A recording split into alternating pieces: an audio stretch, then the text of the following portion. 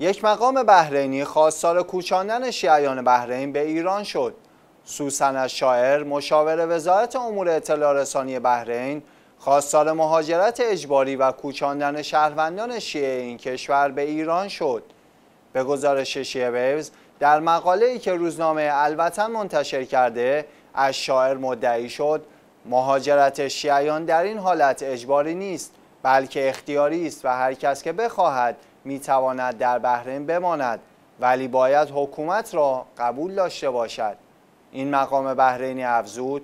این امکان وجود دارد که به افرادی که به صورت داوطلب تمایل دارند به ایران مهاجرت کنند هزار دینار تسهیلات داده شود و به شرط اینکه گذرنامه خود را به گمرک تحویل داده و از امتیازاتشان به عنوان یک بحرینی دست بکشند. این در حالی است که اکثریت قاطع جمعیت بومی بحرین را شیعیان تشکیل می‌دهند ولی از بسیاری از حقوق شهروندی محروم هستند.